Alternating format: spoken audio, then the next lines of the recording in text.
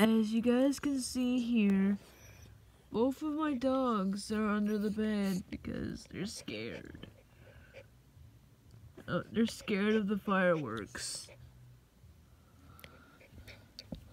You can tell how scared my dog Sam is. Sam, look at me. Look at me. Sam. I know you're scared. Know the fireworks will not hurt you, okay, baby? I understand you're scared and you don't like the fireworks. Just try to be brave. Okay?